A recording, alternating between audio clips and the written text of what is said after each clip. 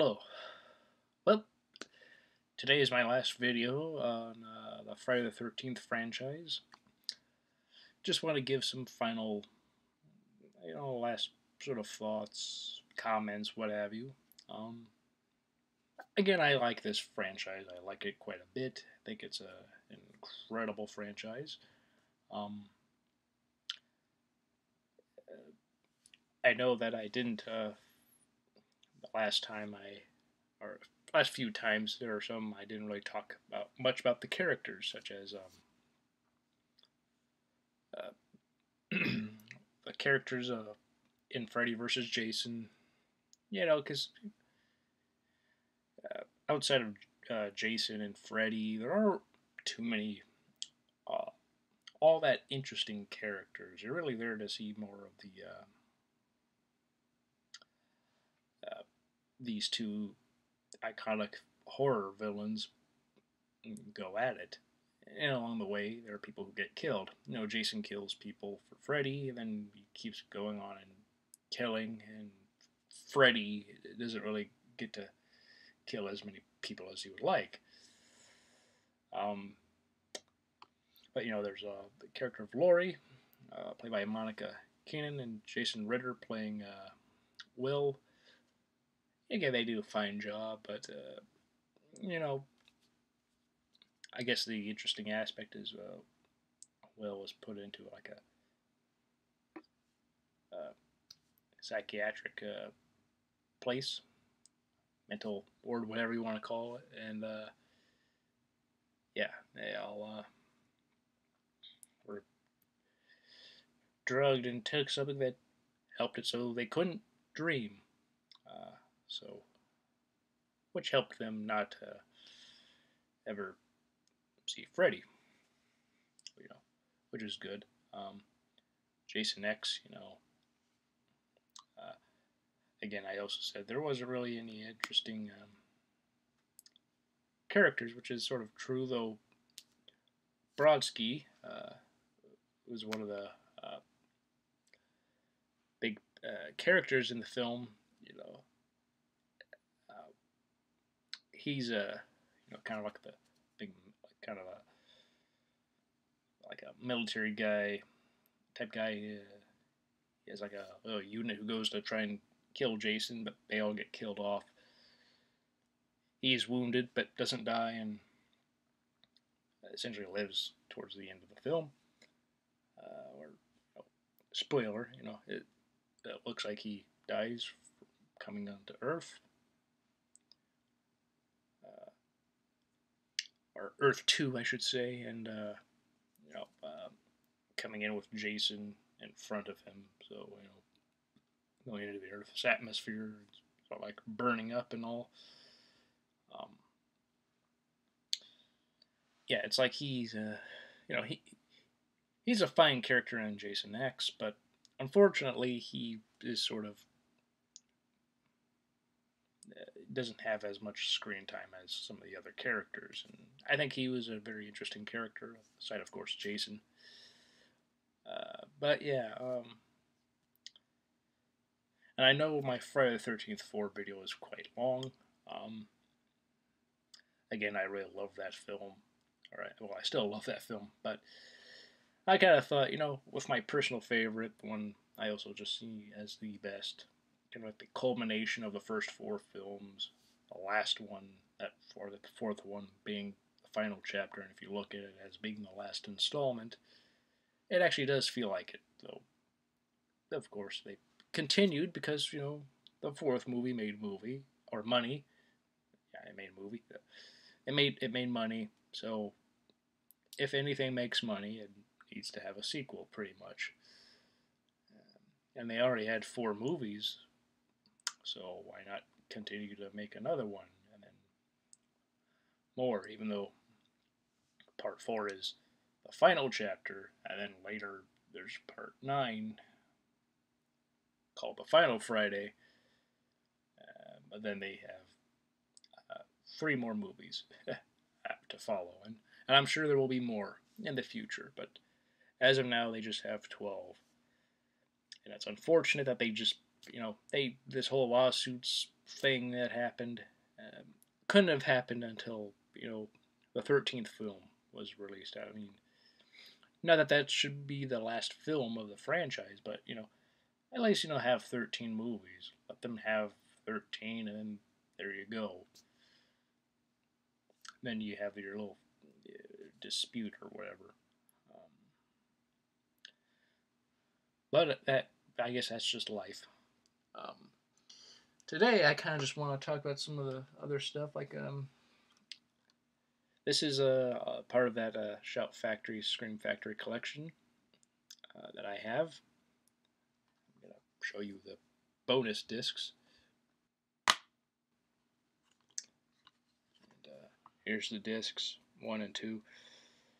This disc has a special feature that um, they removed for the third film to put it here, which is the uh, which is like a story like the hockey mask and how it's an iconic uh, part of this franchise. And I was a bit surprised when I first saw got this and was watching all the movies watching the special features and how that wasn't on there. And I'm like, well, maybe it'll be on any of the bonus material, and it was. So I was like, it's not like they, you know, cut that for some reason. Um, yeah. On this disc, you know, they have like a lot of, or on these, like uh, first eight films. Uh, this one, this first disc, it's a lot of the archival uh, special features, like on the DVDs. Um, the first eight DVD box set that was ever done with Friday the 13th. You know, that bonus disc, which was later on the other 12 film uh, initial release box set. Um, that DVD was there, but now you have it on Blu-ray. They have all the special features on there on the first disc, and they have some more special features of the first eight films here. And then on then on another page after you have like Freddy versus Jason, bunch of stuff there that wasn't included on the DV, uh, the Blu-ray releases, DVD releases of that movie, and also the same with the Friday the Thirteenth reboot. So they have some more stuff there. You know, they don't really have anything new for parts ten or nine, nine or ten. Um, basically, get this box set. Um, those movies have, you know, they have their own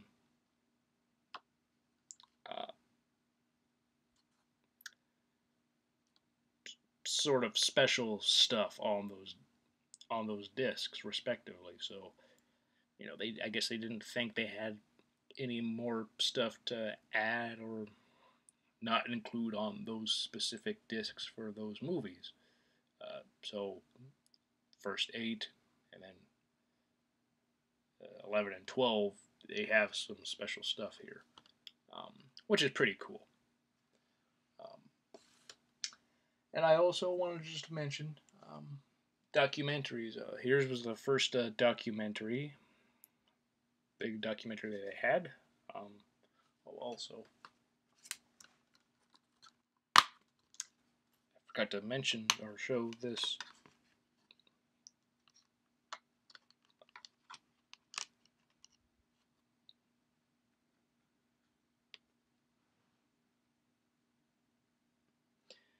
Alice at, at the end of the first film, in the canoe.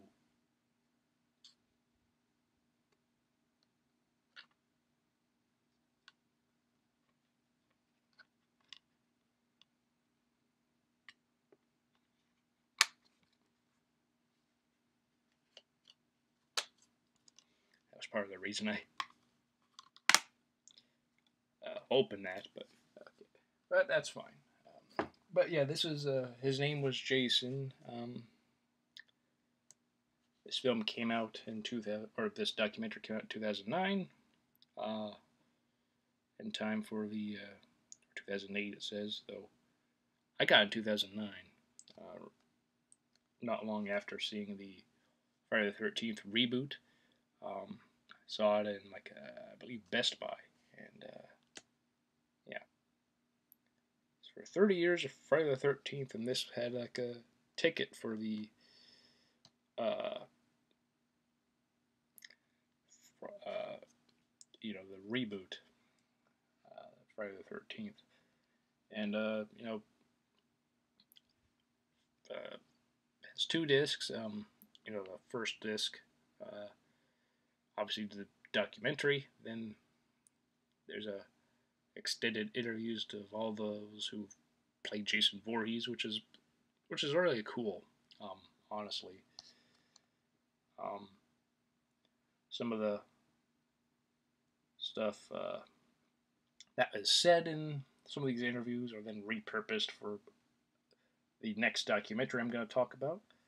Um, some of the stuff there and ex- more extended stuff that was not at all included on this in this own documentary or even some special features like they cut some stuff out. Um, because the documentary here is 90 minutes. Goes through the various films that has ever happened in the franchise. And then the second disc has more interviews with like with directors and stories from Camp Blood, interviews with the screenwriters, Camp Crystal Lake Survival God Guide. Uh, Jason takes Comic Cons fan films, Friday the Thirteenth in four minutes. Um, and if you're a fan of, uh, of uh, James Rolfe, uh, Angry Video Game Nerd, there's an edited version of the uh, Friday the Thirteenth episode on this, um, which is really cool. Um,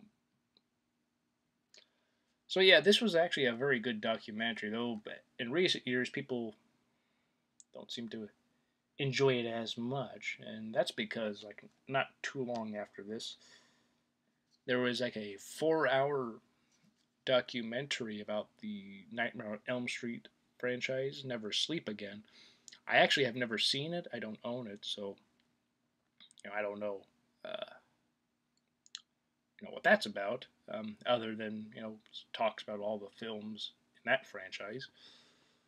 Um, so because of that, you know, while for a moment this was really seen as excellent documentary of like an overall retrospect of the franchise, getting the various people who have worked on it, like Jason, Voorhees, directors, writers, producers, so on and so forth, as well as like other non-related people to the franchise, like Seth Green.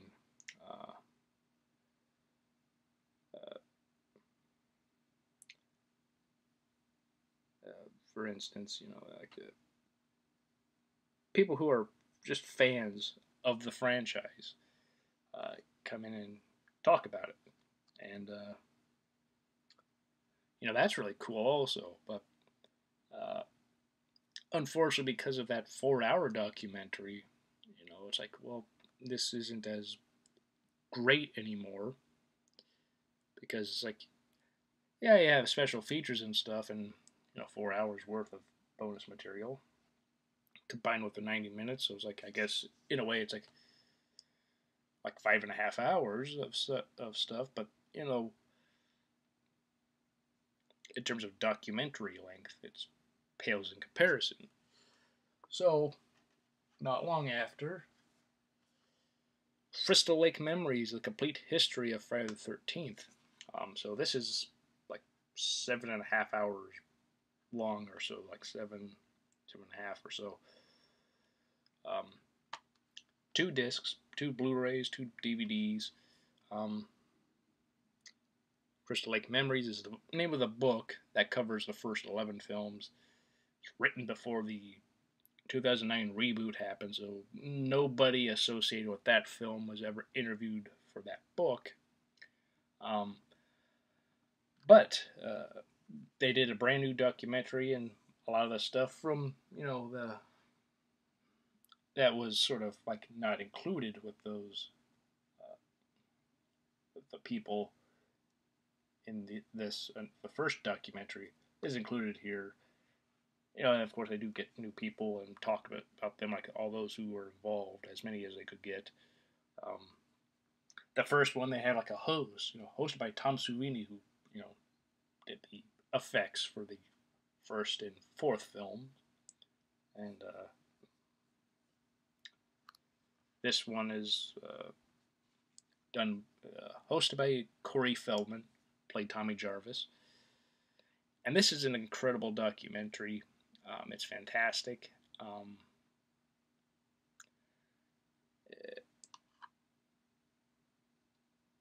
to anybody who loves this franchise but has never seen this, uh, I would recommend it. I think it's an excellent uh, companion piece.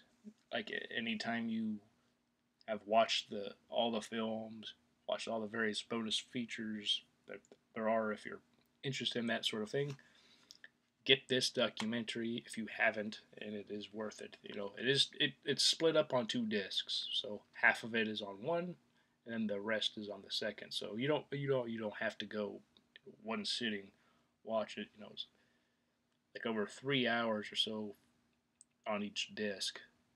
Um, you know, it's it's a fantastic, um,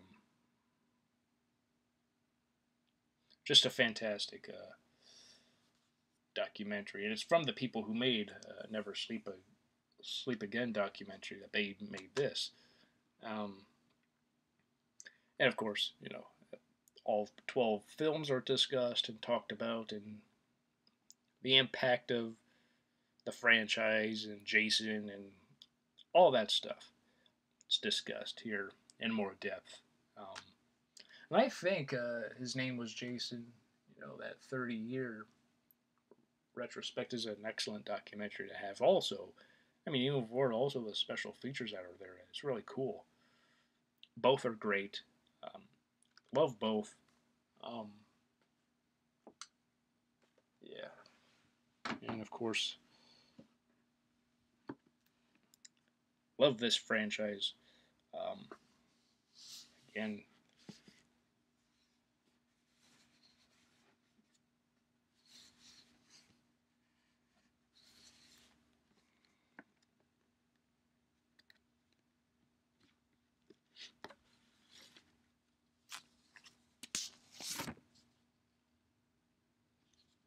which is what's on top here.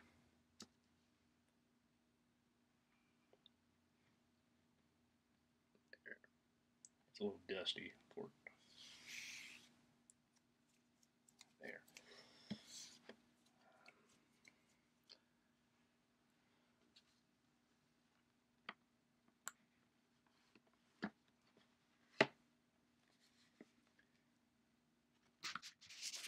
And this was side here.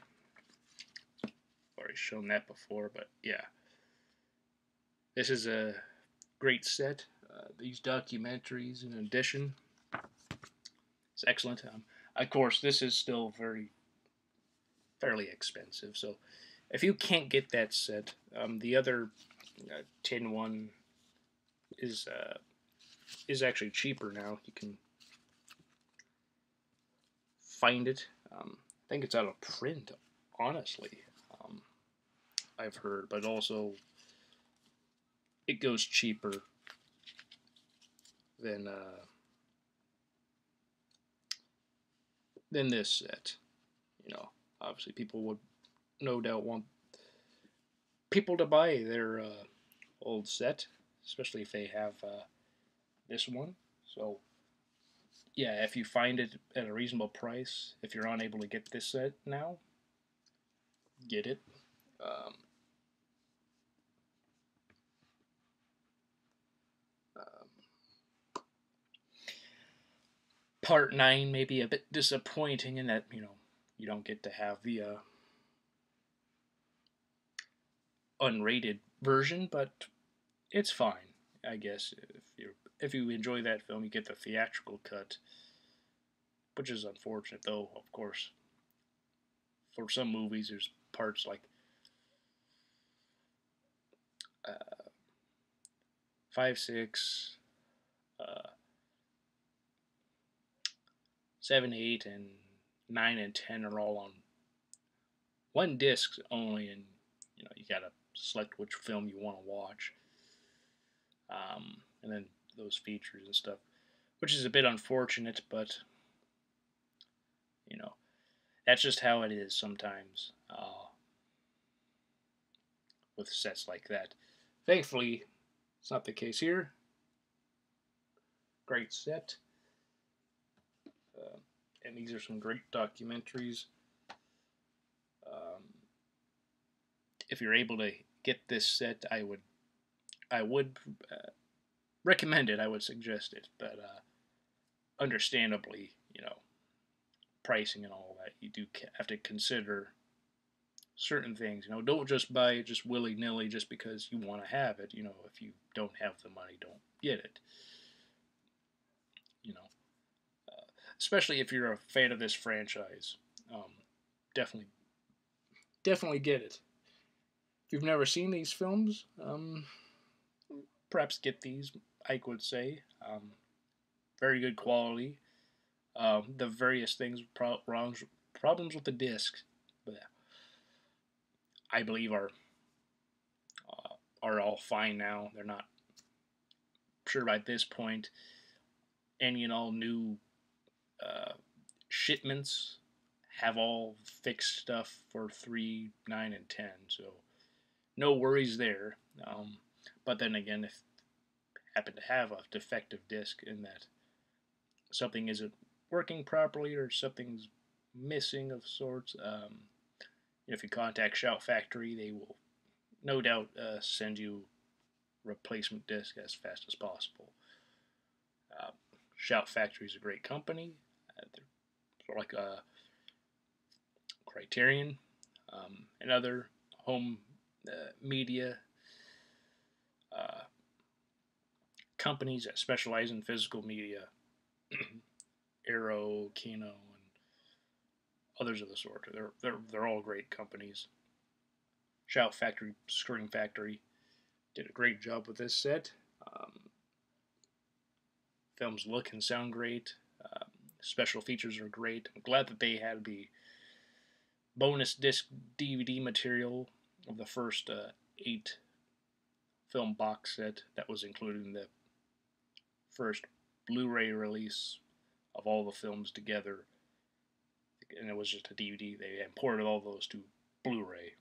Um, you know that's great. Uh, so yeah, th- th- this uh, you know this was all fun for me to go through all these movies again one by one, talk about them, say what I like about them. Um, even some of the ones I think are weaker entries. Um, this was just fun, and uh, I'm glad to have been able to do this. Uh, it's something I've wanted to do for a while, and finally been able to uh, just dedicate enough time to finally get it all done. And uh, I thank you very much for watching all these videos. Um, this was fun. Uh, hope you had fun. Hope you were, you know, comment in the comment section. Um, you know, interactions are always interesting, and uh, I always find uh, I always enjoy uh, hearing what people have to say about movies I talk about. Um, you know, sometimes people enjoy something more than I do. Some people don't enjoy something that I enjoy. Um, it's always interesting to hear uh, people's thoughts on them on films. So yeah, thank you all for uh, coming along with me as I went through all these movies. Um, yeah. Uh, what more is there to say other than, uh, uh, you know, I love Friday the 13th. Uh, it's a great franchise, and I hope to see more uh, new films in the future. So, um, until next time, uh, I hope all of you will have a great day, great weekend, and a great week. And I'll see you all next time. Bye.